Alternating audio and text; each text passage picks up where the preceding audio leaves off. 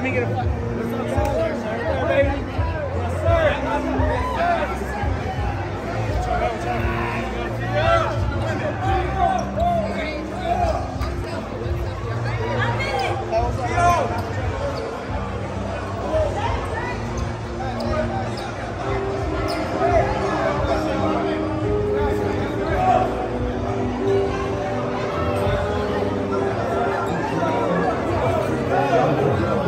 どうぞ。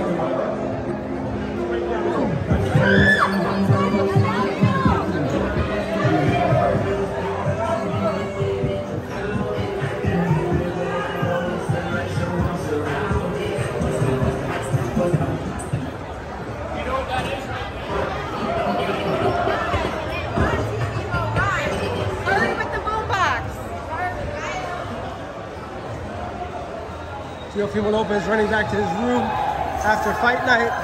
Lots of fans getting mobbed. Having a good time. That's what it's all about. He had a beautiful win, guys. And I'll go back. Fans.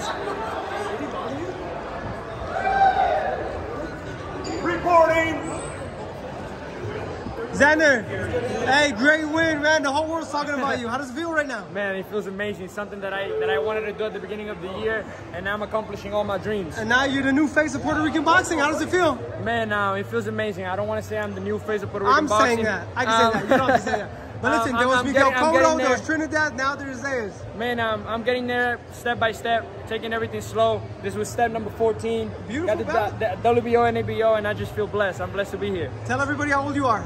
Man, I'm 19 years old, about to be 20, and I'm just, again, I'm just blessed to have my family, my team around me. Keyshawn Davis said you're amazing. He said you're 12 years old, really. but now you just Man, look young. But keep it Keyshawn is going, man. It's not easy. Keyshawn is coming up. We got we got a, a lot of um good prospect in the top rank um banner, and um I just can't wait to see what the future holds for all of us. Message to your fans, people who love you. What do you tell them? I love you guys.